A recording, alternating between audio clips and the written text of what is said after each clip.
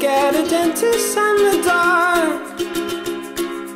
I was scared of pretty girls and starting conversations. All my friends are turning green. Yeah, the magician's assistant in their dream. Our rules are curfew at 12 p.m. This is so that all that all the athletes can get their beauty sleep. This will help them stay healthy and happy. Rule 2 is work out 3 times a day. This is so all athletes can stay ahead of the other athletes who aren't part of our utopia. Rule 3 only immediate family can stay with you. This is so all the athletes don't have too too many distractions. Rule 4 must make an all pro team. This is the only criteria to live in our utopia. Must be an active player in one of the four national sports leagues and make an all pro team at least once in your life. Rule 5 must have kids.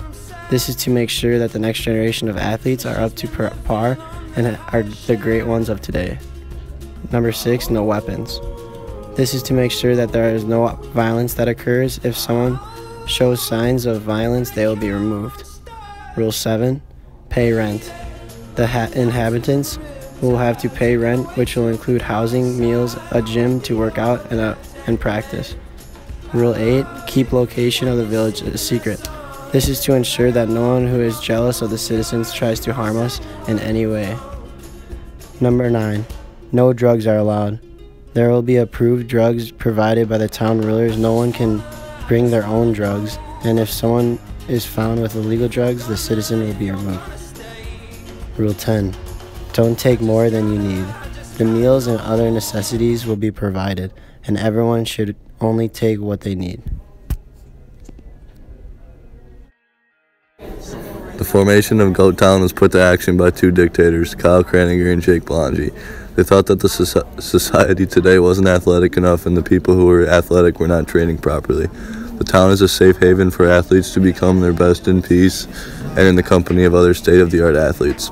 The two rulers will work together in a dictatorship that will make the decisions based on what will be the best for the families there and for the training of the inhabitants. The families who live in the town will have everything provi- provided for them on the island. Anyone who disobeys the rules of the island will be removed and not allowed back. Goat Town will provide all necessities for its inhabitants. All they have to do is make a call to the service people and they will bring them whatever they need. A very nice apartment will be provided to each athlete and their family. There will be a super Walmart on the island that is open 24-7 and will provide toys and other things that might be needed. The island is sponsored by Nike, so all the athletes get whatever clothes they want. There will be no money in the Utopia, but every athlete will need to pay 10% of their salary to cover the cost of all the goods that are provided. There will be nobody making determinations about who gets how much of what because it is all inclusive. But if someone starts ordering food and wasting it, they will put, be put on a restriction. Everyone should just take what they. The government will be run by a dictatorship. The dictator will talk with its close associates and then make a decision based on what is best for the town as a whole. The town will be located on Nan- Nantucket Island off the coast of Rhode Island. This is the perfect spot because it is close to many large cities and is also secluded on an island. The town will be private and the location of it will be a secret only known by the inhabitants.